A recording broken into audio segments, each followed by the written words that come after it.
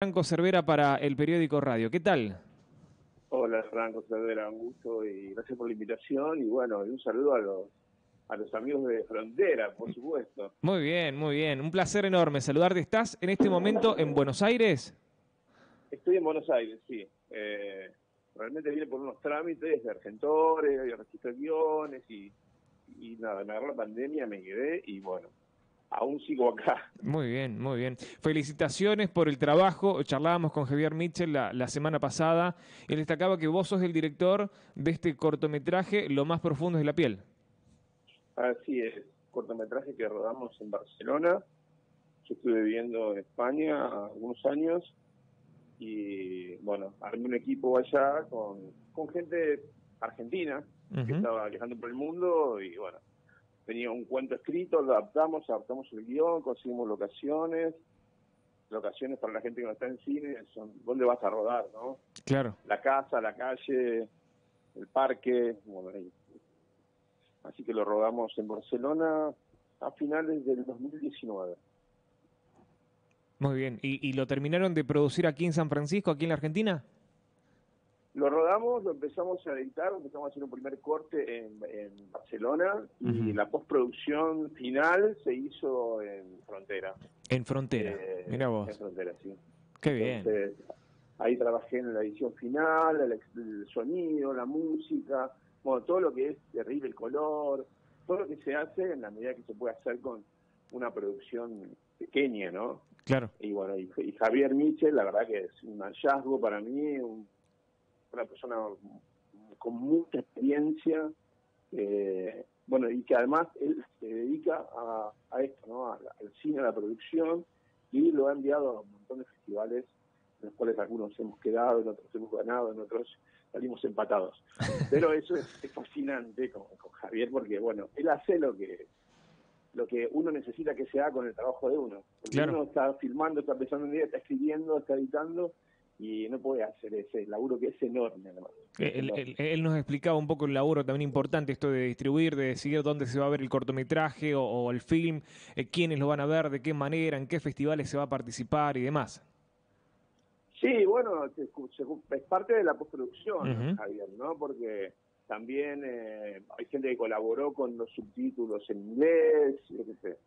Bueno, todo ese laburo hay que, hay que sumar gente para que el corto también participar en festivales internacionales a veces. Nosotros, por ejemplo, cuando rodamos, eh, cuando mandamos a Aníbal, Justo una Muerte, que es un largometraje que estrenamos en el 19 en, Argentina, eh, tenía subtítulos en italiano, en francés, en alemán, bueno, y nos mandamos a cientos de festivales, a veces quedan, a veces no, pero estaban todos los subtítulos, y los subtítulos son fundamentales también para, para poder mandarlos, ¿no? Los mandas a Alemania y español y medio que se complica un poco. Me, quiero meter un poquito en tu trayectoria, en tu vida, porque, a ver, yo no soy un especialista en esta materia y me sorprendía cuando me, presentaban a Javier, que, es productor y con toda la experiencia que tiene, que es de San Francisco, que por supuesto tuvo experiencia en Estados Unidos, en otros lugares y demás. Y, ahora, ahora me toca conocerte a vos, en este caso a la distancia, sobre un director cinematográfico de frontera, de la localidad de Frontera, que, está trabajando en estos proyectos tan interesantes. Eh, ¿Naciste en Frontera? ¿En, qué lugar de Frontera vivís o, vivías? Contame un poco. Sí, eh, soy de Frontera y me gusta ser de Frontera, fronterizo también, ¿no? Pero bueno, nosotros tenemos una ciudad muy solidaria, que es San Francisco, y los que nacemos en Frontera terminamos eh, nuestras madres terminan pariendo en el hospital de, San Francisco, ¿no? Y el registro civil es en San Francisco, y todo está en San Francisco, finalmente en tu documento dice San Francisco de Bien. Pero me, me, siento muy de frontera con los últimos tiempos, me siento muy de frontera porque es interesante frontera para pensarlo también cinematográficamente hablando. Sí, sí, sí, sí, claro, ya lo, creo, ya lo creo. ¿Y vivís actualmente en frontera? Sé que en este tiempo estás en Buenos Aires por, por trabajo, pero eh, ¿tenés tu casa acá? Digo, ¿vivís, tenés de domicilio acá últimamente o no? Mira, yo eh, casi toda mi vida eh, estuve en Buenos Aires. Ajá. 17 años que vine a Buenos Aires y viví, bueno, toda mi vida acá. Así que de vez en cuando voy allá, tengo a mis viejos, y nada, es visitarlos a ellos, pasar tiempo con mi hermana, ese tipo de cosas. Bien. Pero nada, y ahora con Javier sí, porque tenemos proyectos en San Francisco comunes, entonces, bueno, se va, se va a dar también que eso esté más tiempo en, San Francisco. ¿Y, el cine, ¿cuándo, ¿cuándo, arranca en tu vida la, la, producción audiovisual, el cine, ser director de cine, desde el interior del interior, desde frontera misma? Mira, el, el, cine yo no sé bien, porque es todo un recorrido. Yo empecé haciendo música, mi viejo es músico, es compositor también, y empecé haciendo música, mi camino fue por el lado del cantautor. Perdóname, perdóname, ¿cómo se llama tu viejo? Mi viejo se llama René Cordero, mi nombre es Marcelo Cordero. Bien. Bueno, Meco Pura es porque mi, abuelo se llamaba Meco y mi abuela le decían Pura, entonces armé ahí como un Bárbaro. Meco Pura, nombre de fantasía. Bien, me decías que una familia de artistas. mi viejo es un artista, un verdadero creador, sí.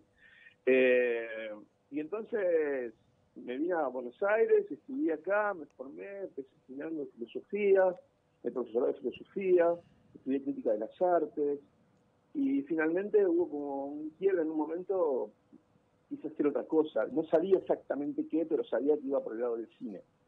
Eh, ¿Por qué? Porque no sabía por qué. Porque en cine vos tenés diferentes orientaciones, tenés realización, que es lo que yo hago, eh, fotografía, dirección de fotografía, montaje, sonido, bueno, eh, guion.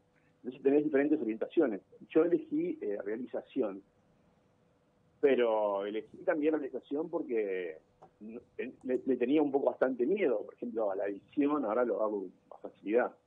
o, o, al guion, yo sentía que con el guion me llevaba mejor porque eh, siempre me dediqué a escribir, casi toda mi vida, me dediqué a escribir, entonces eh, bueno, nada, sentía que ahí no había problema. Fotografía ya con los, con los fierros, con las luces, con la cuestión eléctrica, ¿viste? Bueno, es para, es para, para cada cabeza, ¿no? Como, sí, sí, por supuesto. Así que, así que nada, ahí me, me, gradué como realizador audiovisual en la Universidad Nacional de las Artes, la UNA. Muy bien. Muy bien. Y, bueno, has participado de, varios proyectos, ¿no? De, cortos, veía de media metraje también, de, varios proyectos. Sí, el primer trabajo que hicimos se llama Bidet, el amante idiota, y está basado en un cuento que escribí en los años 90. Eh, es un plano secuencia, para los que no saben lo que es un plano secuencia, la, cámara se enciende eh, y se empieza a contar la historia y hasta que la historia no termina, la película no termina. O sea, la historia termina cuando se apaga la cámara, por decirlo de alguna manera. Entonces fue el primer trabajo que hicimos en plan secuencia. Eh, interesante también, ¿no? Porque hay que contar una historia sin cortar. Eh, y después eh, vino Girasoles de Fragonar. también ahí, por ejemplo, con, con Videte, el amante idiota, yo tenía como un problema con los cortes, ¿no? ¿Cómo se arma el corte en la película? O sea, me resultaba como demasiado abstracto. Y con, con Girasoles es una película de cortes todo el tiempo, además de, la historia, habla de un corte de una relación. Entonces jugué con la, cuestión técnica y la cuestión, eh, si quiere, literaria, ¿no? De la, la historia. Bueno, después siguió eh, Las Rosas de mi Quebranto. Siempre filmamos así como en barrios, en, pueblos, filmamos en Lanús, filmamos en, en Chascomús, en Campo de Girasoles fue maravilloso lo del campo de girasoles porque llegamos como tres remises con todo el equipo, viste, éramos como o, gente con mucha guita o, mafiosos o una cosa así, porque es rarísimo tres coches negros llegando a un pueblo. Yo la verdad que no conocía la de los girasoles y tenía la idea de filmar una escena con los girasoles y los girasoles medían un metro ochenta, noventa, no sé. Y, y la actriz medía un metro setenta, sesenta, no sé. Y wow, viste, una inserción Así que bueno, nos llevaron hoy, mira, estos girasoles están a punto de ser cosechados y qué sé yo. Y hay unos girasoles que estaban como tristes, caídos, la, la cabeza así para un costado enorme.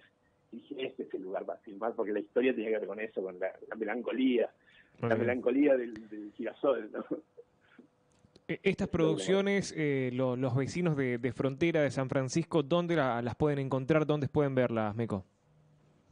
Bueno, yo tengo un canal de Vimeo, Animales de Cine, pues, te puedo pasar el link, sí. vamos, y bueno, ahí se pueden ver menos, menos, eh, lo más profundo es la piel, que la estamos festivaleando, se pueden ver ahí.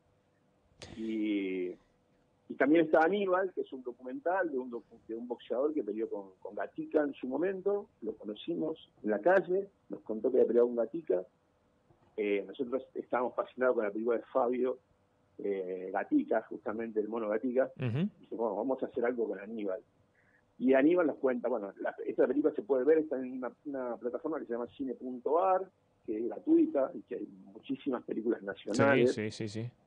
Está, bueno, está en cine.ar que se puede ver ahí también. Así que es un largo, hermoso, Aníbal es la película en realidad. Espectacular. ¿Y, ¿Y ahora en Buenos Aires estás trabajando con otro proyecto? En Buenos Aires estoy trabajando con varios proyectos. O sea, uno no tiene un proyecto en la cabeza, sino que tiene varios. Tengo un documental que estoy pensando para San Francisco, que se llama En el mundo no hay espacio, eh, y que tiene que ver con tiene que ver con el espacio, eh, la creación del espacio, ¿no? Por decirlo de alguna manera, bueno, pues sí, sí, pero no hay lugar para esto. Bueno, tenés que crearlo al lugar. Esta creación puede ser un lugar donde te metes a vivir o una forma artística, no sé, hacer el rap, el trap, lo que vos quieras, o pintar, o no sé. Pero siempre el espacio, en el mundo no hay espacio, realmente no hay ningún espacio, lo tenés que crear. Entonces, bueno, de esto va un poco el documental y me parece que hay que lograr bastante, pero me gusta, me gustaría realizarlo ahí en San Francisco. ¿Realizarlo, realizarlo sería filmarlo aquí en San Francisco? Sí, sí, sí, sí. Rodar, rodar el documental en San Francisco. Muy bien. Muy bien, sería, sería interesante también una, buena experiencia también para los vecinos, para tal vez, eh, bueno, no sé si va a ser en un lugar cerrado o abierto, eso depende de, lo que tengan previsto. No, no, es un documental que tiene calle, que tiene casa, que tiene gente, que tiene gente que vive, en, no sé, de repente en el ferrocarril, o sea, tiene, tiene, tiene mucha, mucha intensidad. Eh, mi viejo siempre me hace llegar cosas de, que pasan en San Francisco y que pasada escuché un señor que se llama Tito, creo que tiene una casa de cine. Eh, Tito Lamberti. Algo, Tito Lamberti. Bueno, un genio, yo no lo conozco, ya lo quiero conocer. Y Tito, por ejemplo, es uno de esos personajes que cuando en el mundo no hay espacio, él crea un espacio. Tal cual, tal cual, personaje entrañable de, la ciudad. Eh, Meco, a ver, insisto, yo desde el desconocimiento, ¿crees que todavía bueno, Javier Mitchell de alguna manera lo, poníamos en escena en estos días aquí en el periódico, en la radio, en, la edición papel, en, la página web. Eh, ahora charlando con vos, ¿crees que todavía no, no, no, estás teniendo el reconocimiento en tu tierra como un director de cine surgido desde frontera, desde esta región, con, la participación en, todos estos proyectos? Eh, ah, no, no, has tenido el reconocimiento todavía? ¿Estamos dando el puntapié inicial de alguna manera? Sí, bueno, eh, cuando Aníbal estuvimos en el, Gomón, estuvimos en el Diario Nación, Clarín, eh, hubo muchas críticas, vos. se llama todas, las críticas, y hay por 10 o 15 críticas de críticos que hacen crítica del cine. claro. Eh, Pero aquí, aquí nosotros, en, en tu tierra, tus vecinos, no, no, no te hemos reconocido hasta este momento, creo, ¿no? Sí, yo en principio tendría que decir que le tengo que agradecer eso a Javier y a ustedes, porque Javier es un poco el que mueve el avispero, ¿viste? Y está buenísimo, me encanta, me encanta lo que hace. Y bueno, y ustedes que me invitaron ahora, y él que estuvo también charlando sobre lo más profundo de la piel, que es un cortometraje bellísimo, bellísimo, bellísimo. Meco, bueno, el tiempo en, la radio pasa volando, te agradezco, te mandamos un, abrazo enorme, pero también te comprometemos al aire de, seguir estando en contacto, ¿no? De, compartirnos las tareas, los proyectos en los cuales estás llevando adelante, estas, estas iniciativas que tienes también, algunas de ellas que están vinculadas a San Francisco, a Frontera, seguir hablando para poder contarle a la gente que desde estas tierras este, han surgido algunos productores, director en este caso, que están ligados al cine, algo que parece tan lejano para la mayoría que no conocemos demasiado, ¿sí? Y que se puede. Sí, muy, dale, sí, sí, vamos a estar en contacto y también agradecer a PAC, que, es quien está moviendo todo el, la cuestión audiovisual en San Francisco, y decir que San Francisco y Frontera son locaciones cinematográficas por excelencia. Muy bien. O sea, son lugares para filmar. Hay, que aprovechar, sacarle todo el provecho posible, porque ya son como, son escenarios, escenarios para sacarle provecho. Uno, uno ve cine cuando va a San Francisco. Espectacular. En las casas. Espectacular. Un abrazo gigante, gracias. Franco. Cuídate Un mucho. Grande, gracias. Señores, eh, Meco Pura, ¿sí? es el nombre artístico de este director de la localidad de Frontera, participando en muchos proyectos a nivel nacional, algunos de ellos inclusive con relación o con, con repercusión a nivel internacional.